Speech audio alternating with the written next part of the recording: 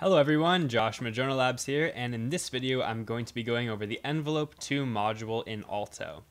In some ways, the Envelope 2 is similar to the Envelope 1, but in many ways it is a very different beast.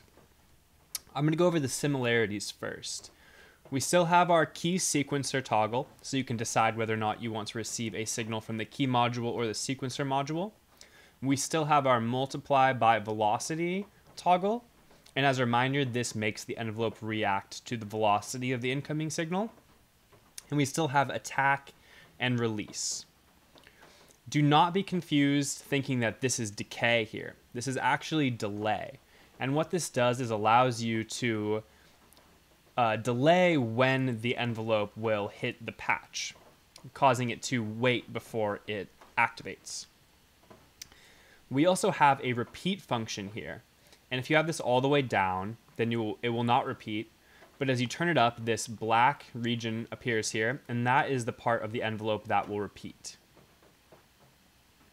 Next, we have this hold toggle here, and the hold toggle is very similar to sustain, but is actually only on or off. There is no gradient between it. And the last thing here is the multiply by envelope 1 toggle.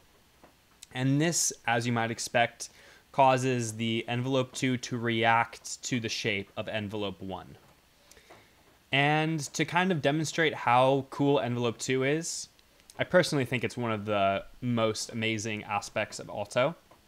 I have uh, set up a little patch here, and I've routed envelope 2 to the cutoff frequency of the filter and the shape of the wave.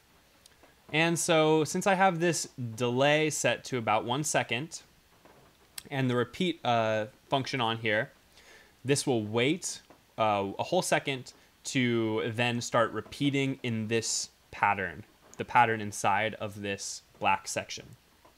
And what I'm going to do is I'm going to press the key very quickly. So we'll pretty much only have the release of the first envelope to act upon. So about one second into this envelope, this envelope will kick in.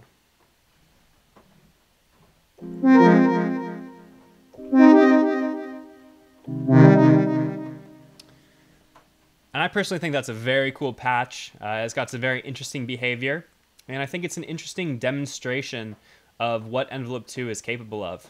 If I turn up the input of the cutoff and the input of the wave shape, you'll be able to hear the effect a little more dramatically.